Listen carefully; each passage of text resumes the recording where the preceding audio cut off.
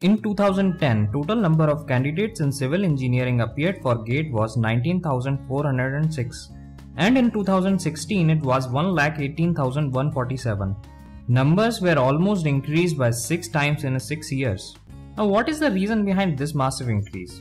Mostly it is because of PSU recruitment through GATE and very limited job options in civil engineering after graduation, which makes it very crucial for a student to prepare for GATE and in this video we will discuss how to start your preparation for GATE targeting next year. Now GATE will happen in first week of February, which gives you complete 10 months to prepare. Now first is the pattern of exam. The test paper is online with the use of virtual calculator. There will be 65 questions from which 30 questions will be of 1 marks and rest 35 will be of 2 marks. In total 100 marks. Marks is approximately distributed as 15 marks from general aptitude, 15 marks from engineering mathematics and rest 70 marks from core subjects. There will be two types of questions, objective type and numerical answer questions. Before starting off any subject, you have to learn one thing, it is not about how much you know about any subject, but how well you understand its concept. IITs test students' concept and application of that concept in solving problems. Make your strategy based on this point. Now you have to study these subjects very thoroughly. Maths, aptitude, structures in which mechanics, structural analysis, steel structures, concrete structures, water resource engineering in which fluid mechanics, hydrology and irrigation. Apart from these you have to study geotechnical, environmental, transportation and surveying. Now based your understanding you can pick any subject first but you should prepare these subjects for next 9 months and assume this complete time is 100%. Then ideally you should give 25% time for structures, 20% time for water resource engineering, 15% to geotechnical, 10% each to environmental, transportation and survey, and rest 10% to maths and aptitude combined.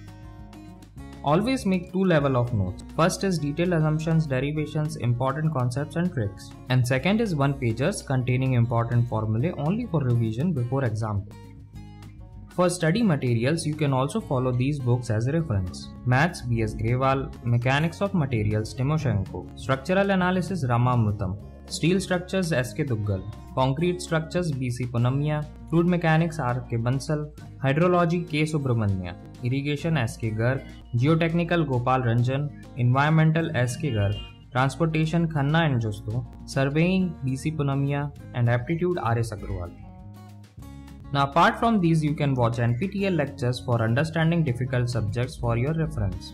Please remember, for getting rank you have to study all subjects thoroughly. Maths and aptitude will confirm 30 marks and relatively easier to score so don't miss it. Structures, water engineering and geotechnical will have weightage of 45 to 50 marks so prepare them well. Lastly, solve all previous year paper in first 3 weeks of last month. Take any test series and mock test for practice and get used to new pattern. Just revise for last one week from your notes and solve last two year paper as mock test with exam condition. Relax one day before exam. Hope you like this information. Please share this information with your friends and family or who needs it. Comment your thought and let us know which type of video you would like to see next.